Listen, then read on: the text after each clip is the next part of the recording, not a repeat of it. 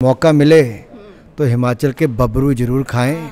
चाहे अचार के साथ खीर के साथ दाल के साथ चाहे चाय के साथ। जब मैं बचपन से सुन रहा था तो एक गाना चलता था पला सपाई या डोगरिया आजकल ना रील्स पे बड़ा ट्रेंडिंग कुछ चल रहा था। किंदे चाले बांटनो किंदे चाले तू। आप कंप्लीट कर सकते हैं। आपने तो बहुत अच्छा गाया। Don't switch but keep watching Zee Switch sir ji Switch से आपका सामना हो रहा है और आपसे एक सवाल मैं पूछना चाहती हूँ जो कि मैं मतलब दिल से निकल रहा है कि जब आ, क्रिकेट मैचेस होते हैं तो सच सच बताना कि आपके रिश्तेदार या आपके दोस्त आपको कॉल करके बोलते हैं कि टिकट करा दीजिए या पासिस करा दीजिए जो नहीं भी जानते वो भी फ़ोन करते हैं। लेकिन सबसे अच्छी बात यह है कि पासिस मिलते नहीं हैं। और किसी से वायदा भी नहीं होता किसी को देने भी नहीं पड़ते इसलिए टीवी पे देखो। नहीं तो टिकट खरीदो और मैच देखो। तो ये बढ़िया एडवाइस मिल गई है सर की तरफ़ से। और sir since you are from Himachal तो कुछ हिमाचली खाने और गाने की बातें कर लेते हैं। कौन सा ऐसा हिमाचली गाना है जो आपका फेवरेट है? बहुत सारे गाने हैं। जब मैं बचपन से सुन रहा था तो एक गाना चलता था पला सपाई या डोगरिया उस गाने से सुनते सुनते शुरुआत हुई। फिर एक के बाद दूसरे कोई नाटी पे गाना आ गया कोई वहाँ के अलग अलग क्षेत्रों के ऊपर गाना आ गया। तो मुझे लगता है जो फोक म्यूज़िक है हमें उसको बहुत बढ़ावा देना चाहिए बचाना भी चाहिए। उसके दो हैं।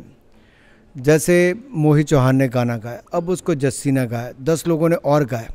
जब बड़े गायक फोक म्यूज़िक को गाना शुरू करते हैं तो उसको देख देख के उसको कम से कम दस लोग और गाना गाएँगे। चंबा कितनी कर दूर एक और गाना है।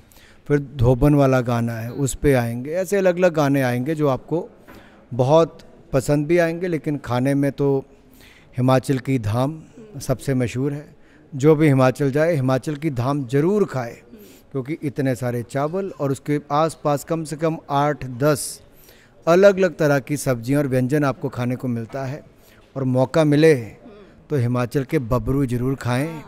चाहे अचार के साथ खीर के साथ के दाल के साथ चाहे चाय के साथ हिमाचल के बबरू ज़रूर खाएँ। बहुत बढ़िया। सर वैसे गाने की बात करे थे तो आजकल ना रील्स पे बड़ा ट्रेंडिंग कुछ चल रहा था। किंदे चाले बांटनो किंदे चाले तू। आप कंप्लीट कर सकते हैं। आपने तो बहुत अच्छा गाया। आप ही कंप्लीट करिए मेरी आवाज़ बहुत बुरी। मैं नहीं चाहता कि आपके दर्शक भाग जाए। इसलिए अच्छा है कि आप ही गाएँ और सब आपका नहीं सर हमें भरोसा है आपकी आवाज़ पे। आप मेरी आवाज़ पे भरोसा बिल्कुल मत कीजिए। भाषण के लिए इंटरव्यू के लिए अच्छी है। गाने के लिए इधर ही अच्छी है। तो कंप्लीट कर देते हैं। ठुमक ठुमक है किंदे चाले तो। बढ़िया गाया सर मैंने। बहुत बढ़िया। सर वैसे अगर आपके इंस्पिरेशन की बात करें तो since you are so fit तो फिटनेस की इंस्पिरेशन कहाँ से मिलती है आपको? अपने आप से। कि अगर अपने आप को फिट रखोगे तभी काम कर पाओगे तभी जो टारगेट सेट किया है उसको अचीव कर पाओगे। अगर फिज़िकली फिट नहीं हो तो आप कुछ भी नहीं कर सकते। इसलिए देश के युवाओं से मेरी एक ही प्रार्थना है कि फ़िज़िकल फिटनेस के लिए कुछ ना कुछ करें। फिटनेस का डोज आधा घंटा रोज़। ये फिट इंडिया मूवमेंट की टैगलाइन ही है। फिटनेस का डोज आधा घंटा रोज़। और कोई व्यक्ति ऐसा नहीं होगा जो आधा घंटा ना निकाल सकता। अगर देश के प्रधानमंत्री निकाल सकते हैं तो हर व्यक्ति आधा घंटा निकाल सकता है। बिल्कुल इंस्टाग्राम की रील्स देखने के लिए अगर निकाल सकते हैं तो आधा घंटा तो निकल ही सकता है। सर अ, वैसे क्या होता है ना कि हम ज़िंदगी में किसी मुकाम पे पहुँच जाते हैं लेकिन फिर भी कुछ काश जो है वो रह जाते हैं कि काश ये हो जाता काश वो हो जाता। कोई एक ऐसी एडवाइस जो कि आप अपने यंगर सेल्फ को देना चाहते हैं? मैं इतना ही कहूँगा कि परेशानियों से भागना बहुत आसान होता है। हर ज़िंदगी में एक मुश्किल इम्तिहान होता है। भागने वालों को कुछ नहीं मिलता ज़िंदगी में। लड़ने वालों के कदमों में ही जहाँ होता है।